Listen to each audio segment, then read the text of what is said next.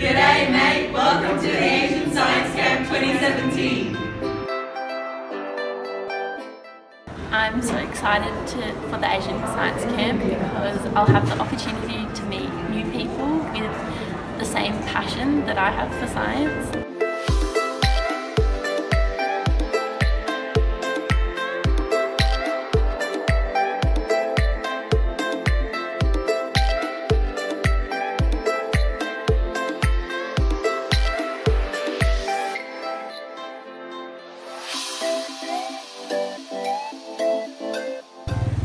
This is the first day of the Asian Science Camp, and today we got to meet 340 delegates from over 30 countries, spanning across countries like China, Japan, Georgia, Turkey, and of course Malaysia.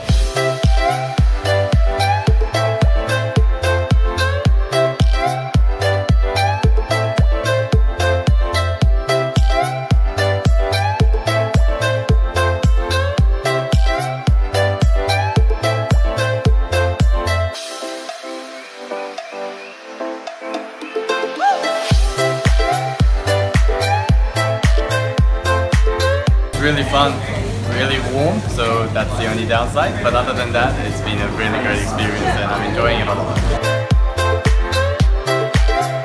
Throughout the past two days, we've been preparing a poster um, related to sustainability. The um, theme for my group is energy, air and water and it's been really really interesting working with people from different countries. So in my group I've got someone from the Philippines someone from Hong Kong China Japan. And it's really interesting seeing what people from around the country think about different topics and the ideas that they come up with.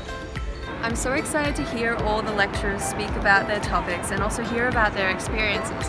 But I'm most excited for Professor Suzanne Cory's lecture because she's a microbiologist from Melbourne in Australia, which is also where I'm from.